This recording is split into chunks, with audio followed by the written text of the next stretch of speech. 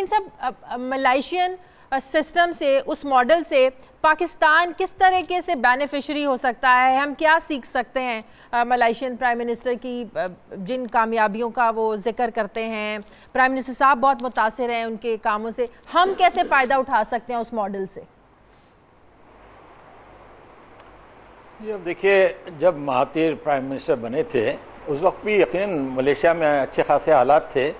لیکن ان کے پیریڈ میں اس میں ڈرامائی تبدیلی آئی اور واقعی صحیح معنوں میں اقتصادی ترقی میں ملیشیا جو تھا اس نے اور ملکوں کو پیچھے چھوڑنا شروع کر دیا۔ مجھے یاد ہے کہ ایک میرے ساتھ کہیں پہ ملیشین امبیسڈر تھے۔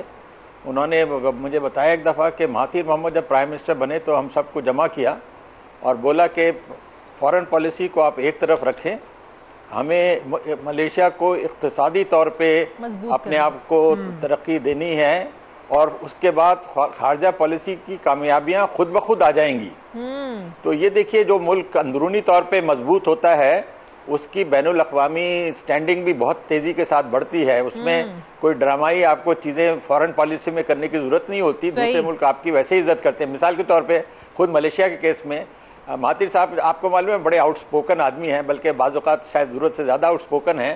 تو انہوں نے بہت سارے ملکوں پہ بارہ اپنے دور میں، دور اقتدار میں تنقید کی ہے، امریکہ پہ کی ہے، برطانیہ پہ کی ہے، اور کئی ممالک پہ کی ہے۔ لیکن وہاں پہ ایک قسم کا جواب جو تھا، بڑا خندہ پیشانی کا تھا۔ کیوں تھا؟ کیونکہ ملیشیا وقت کے ساتھ ایک اقتصادی طور پہ اہم سے اہم تر ملک ہوتا جا رہا تھا۔ تو اس میں میرے خیال میں جو ان کی سب سے بڑی وجہ ہے کہ انہوں نے پرائیویٹائزیشن کو بہت اہمیت دی اور جو انویسٹرز تھے ان کے لیے بڑے مواقع پیدا کیے۔ پھر ملیشیا کے پاس اپنے ریسورسز بھی ہیں جن کو ڈیولپ کرنے کا بھی موقع ہے۔ ان کے پاس آئل ہے اور ان کے پاس ٹن ہے ان کے پاس ربر ہے۔ اور اور بھی ان کے پاس اچھے ریسورسز ہیں۔ Malaysians are disciplined hard working people لیکن دیکھیے ان کی لیڈرشپ میں جو کامیابیاں ملیشیا نے حاصل کی، اس کے بعد جو لیڈرز آئے، انہوں نے وہ کامیابیاں حاصل نہیں کی۔ تو leadership does make a difference یہ جو ابھی ایک بات ہوئی تھی کشمیر پہ، کیوں نہیں بولے؟ میں اس بات سے اتفاق کرتا ہوں کہ اگر وہ کشمیر پہ کچھ بولیں، خاص طور پہ سینئر اسلامی رہنما ہیں، تو وہ ان کے اپنے کریڈٹ میں بھی جاتا ہے۔ لیکن اگین پھر میں مثال دوں کہ میں او آئی سی میں بھی بہت سفیر رہا ہوں۔ سالوں سے ہم نے دیکھا کہ ملیشین جو ہے او آئی سی میں کشمیر کے معاملے میں انڈیا پاکستان کے معاملے میں ہمیشہ خاموش رہتے ہیں۔